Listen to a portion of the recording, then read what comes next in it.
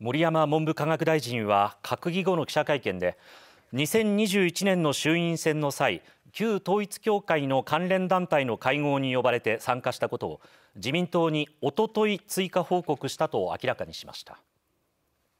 2021年10月選挙、まあ、実質選挙戦の中での集会の存在を認識いたしましたためその旨を一昨日7日自民党にも報告させていただきました。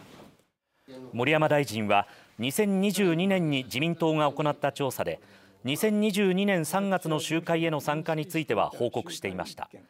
2021年の会合については会見で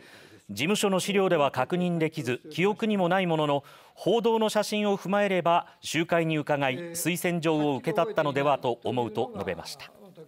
その上で教団側との関係を断ち自ら解散命令請求をしたことなどを挙げ引き続き職責を果たす考えを示しました。